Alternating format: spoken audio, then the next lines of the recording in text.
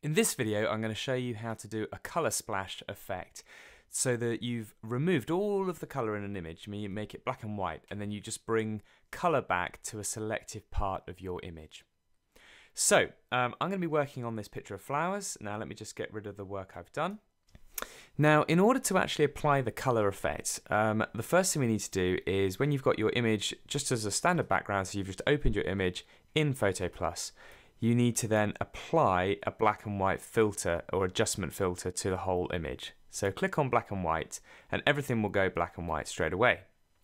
Now, when you've done that, you've got two little boxes in your black and white filter. This one, which tells you we're doing a black and white filter, and this one is a thing called a layer mask. Now, if you've maybe seen uh, some of my other videos on color adjustment, you might know a little bit about layer masks. But layer masks effectively let you decide by painting and drawing on the mask how much of that um, layer should be seen. In this case, like to what part of the image do we want the black and white effect to apply? Now, in order to change that, in this instance, we actually want to get rid of some of our black and white filter. We use the brush tool and we have to use either black or white um, as our color. Now, if I paint black into, if, as long as making sure I've got this mask enabled, if I paint black, it will actually remove this black and white layer. So if I just make my brush nice and big and start painting, you'll see that color starts coming back into my image. Okay, and for this to work quite well, um, you're going to want to do a few things. One, you probably want to set your brush to use quite a low hardness setting. If it's very hard, then uh, you'll get very fine, definite lines. So you probably want to have quite uh, a soft brush. The other thing you're going to need to do is use a lot of zooming.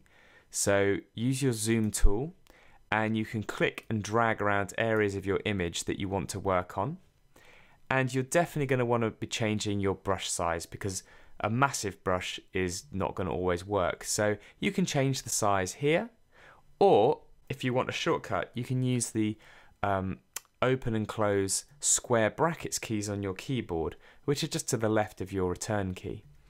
Uh, so the open brackets makes the brush smaller and the close brackets makes the brush bigger. Now I recommend you start by being try and be fairly accurate, but don't worry about getting things absolutely right. So if you end up bringing a bit more color back into the image than you intended, that's absolutely fine because in the same way that drawing with black removes this layer, i.e. it sort of it means the black and white filter effect is removed, um, if we were to then paint with white, we can add it back again. So you can be quite uh, broad and quite general in your approach to get started, and then you can just apply um, a little bit of neatness afterwards. So let me show you what I mean by that. Let's say over here, this sunflower is actually uh, maybe part of this bouquet, but perhaps some of this stuff behind isn't. Or maybe we wanted the, in fact, I think the sunflower isn't part of this bouquet, so let's say we want to get rid of it. Well, let's just zoom in on that area again. And actually, you can see there's a lot of haziness around this um, sort of lily as well. So we might want to get rid of that too. So again, using your brush, uh, but this time we want to paint with white. So I can click this little button which switches the two round, or I can press the X key on my keyboard to switch between them as well. Uh, but now that I've selected white in my foreground, if I make my brush a bit smaller again, you'll see that I'm actually now painting my black and white adjustment filter back in. Okay, so you can do the fine detail using a white brush to reapply the black and white effect if you've accidentally put a bit too much colour into your image.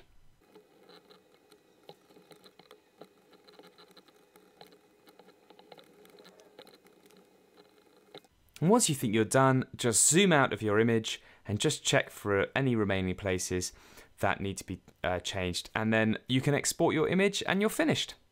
So that's how to do a color splash using a black and white filter and a layer mask to selectively apply that filter to specific parts of your image.